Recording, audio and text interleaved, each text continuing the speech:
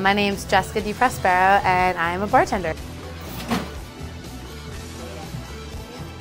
I'm originally from Washington Township, New Jersey. Life before bartending was not as fun. I was working in retail and I was a waitress. So I started out as a waitress when I was 14 and then I eventually moved up to bartending when I turned 18 and I went to bartending school in the city in uh, Philadelphia. And I took 40 hours worth of classes and had to take a speeding test in order to get my mixology degree. And then I just started bartending. Juggling school and bartending is probably one of the toughest things to do right now. I work four days a week and all of my weekend hours go to working here about 14 hours a day. So it is a lot of um, time management and balancing my work and sometimes I'm good at it and sometimes I fall apart. At the end of the week I make around $1,000 a weekend, which is a lot. My favorite part about being a bartender is that I get to interact with people and meet new people all the time. But I also love when my regulars come in because it's they're my friends. Like I have friends at school, but I see these people every single weekend and they always come in and they're like, "Oh, how was your week?" or "How was your day?" And it's like I can have a normal conversation with these people because they know my life.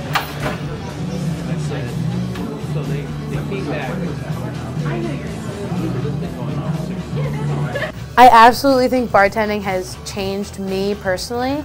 It's made me more open to just communicating with people and it's kind of cool because I remember what every single person drinks when they come in and I know that's like very confident of me to say. When it comes to someone being really highly intoxicated, I stop serving them. I, I, I recognize right away if they come in drunk, I won't serve them. I'll offer them a glass of water and let them sit there for a while and then I'll serve them. But if they give me a hard time, I just kind of kick them out. I'm like, dude, you gotta go. Like, you can't be here.